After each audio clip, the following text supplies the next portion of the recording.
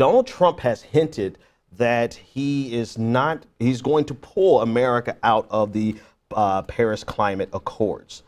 Um, on your screen behind us, you'll see an image um, that was provided by the Business Insider that shows you what America would look like if all of the ice uh, in the Antarctic, all the ice caps melted.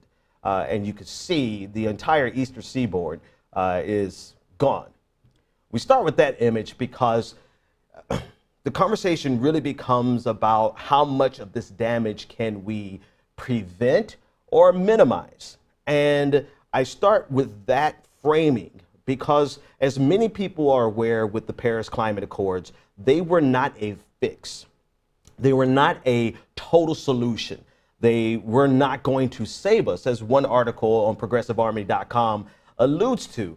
However, there is a big difference between doing something and doing nothing, and the amount uh, that we are able to mitigate the damage that we've already set into motion. Um, so, in terms of where we are with the climate accords, uh, Donald Trump has not officially announced that he's withdrawing from them, um, but he has hinted towards it, and there have been sources from the White House who have leaked it and suggested that um, we are no longer going to be a part of it. Uh, now, we're still waiting as of today to see whether or not this is what he's going to do. Uh, in many, if this were a, an, an effective White House, we could say that Donald Trump was floating this information to see how the United States responded to it. Um, but this White House has been anything but effective and efficient. So it's very likely that this information that's being leaked out is the true intention of Donald Trump instead of a trial balloon, um, so to speak. So just a few more details about the uh, about the Paris deal uh, that was signed in 2015. Um, it was a non-binding agreement. Um, the language of the agreement was negotiated by uh, representatives from 195 countries, uh, and it was adopted into consensus on December 12th of 2015. Developed countries committed to mobilize 100 billion a year in climate finance by 2020 and uh, and will continue mobilizing uh, finance at the level of 100 billion dollars a year until 2025. On your screen, we have an image of some of the key points uh, that were brought up in this this accord. Uh, temperatures. Uh, temperatures will keep warming well below 2 degrees Celsius to continue efforts to limit the rise um, in temperatures to 1.5 degrees Celsius.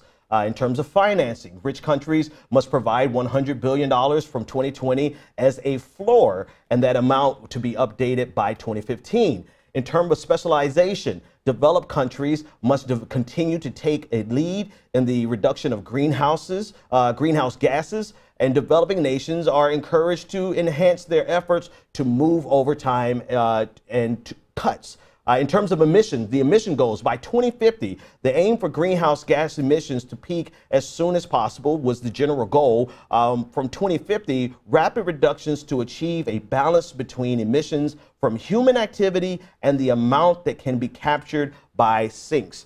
And this is an image um, that was put out by AFP. Uh, on the second image, you can see the final part of the breakdown of the climate accords, uh, burden sharing. And again, this is by AFP to develop developed countries must provide financial resources to help developing countries in this process. Other countries are invited to provide support and on a voluntary basis. Uh, and re a review mechanism by 2025, a review every five years. First mandatory world review was set up to be slated in 2025 climate related losses, vulnerable countries, um, one recognition of the need for averting, minimizing, and addressing losses suffered due to climate change. And again, this breakdown was provided by AFP. Now, with this, again, we can say that the climate accords were not a end solution. In fact, it was not quite enough to halt all the momentum that we see happening uh, in, with, regards to global warming and climate change. However, we get to the conversation of uh, the the not even a philosophical conversation, but just the practical, the pragmatic conversation of whether or not if something is not enough, should we do nothing? And, and I'm seeing this a lot from uh, some of the progressive left really dismissing Donald Trump's uh, dismissal of the, uh, the climate accords in, in the sense because it did not do enough. I'm not sure that that's the way we should look at this, right? Because it, to, to say something is not enough, yes, that's one thing, and that's the way we should look at it. We should say that this is barely a start, and this is, it is a start. However, to, to take a step back and say this is not enough, so we should not be concerned with the fact that the United States is withdrawing from it, I think is, um, I think is an erroneous uh, train of logic, particularly because if we have the ability to at least mitigate some of the effects, whether or not we're able to stop all the effects, I think some of the people who would be displaced in the years to come would appreciate the fact that we as a world, as a globe, uh, citizens of different nations around the world came together and said that we're going to do what we can to mitigate the effects. Now, this is in the backdrop of a president who really thinks that climate change and global warming is a hoax to raise taxes. I want to share some tweets of him, uh, of Donald Trump, uh, as far back as uh, 2015. He said, It's really cold outside. They are calling it a major freeze, weeks ahead of normal. Man, we could use a big fat dose of global warming. He went on to say that same year, he said, Any and all weather events are used by the global warming hoaxers to justify higher taxes to save our planet. They don't believe it. Dollar sign, dollar sign, dollar sign. Here's the problem with this is that this is the thinking of the Republican Party in general. Donald Trump is not alone in this decision. In fact, he received a letter from 22 senators, uh, Republican senators, who asked him to withdraw from the climate accords. So we're dealing with a, a, way of thinking. We're dealing with not only a denial of science, but the, the willingness to use a denial of science to further their own political and economic goals at the expense of future generations. So it's not just Donald Trump who we have to oppose in this issue, it's also the Republican Party as a whole. And not only Republican Party as a whole, but anyone else who would take no steps or no significant steps to mitigate the oncoming disaster. I want to phrase it like this. I want to think about this real quick. If you look at the map behind us, look at the map behind us. Can you imagine? Can you imagine the human rights crisis, the the the the the uh, the over the humanitarian disaster right here in the United States.